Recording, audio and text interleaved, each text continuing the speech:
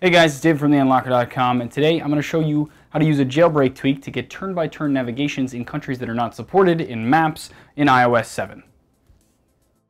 Okay, before you do this tweak, you need to jailbreak your phone, obviously. So if you haven't done that, please click on the link beneath this video uh, on our site to be taken to that procedure, complete it, and then come back to this one to continue. Okay, first thing we're going to do is open Cydia. And wait for it to do its thing. Then tap search on the bottom right. Tap in the search and type maps, all countries, and you'll see it there. Tap that, tap install, tap confirm, wait for that to install.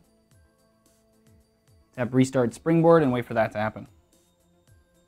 And once that's done installing, there's really nothing else to do. Um, just open your map application uh, it won't be Google Maps, it'll be Maps.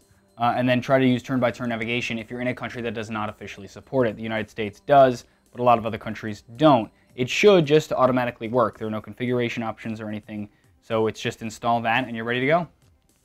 And there you go. I hope that helped some of you. And if you'd like to check out some of our other tips and tricks or other how-to videos, feel free to follow me on Twitter, Facebook, Google+, or subscribe to our YouTube channel.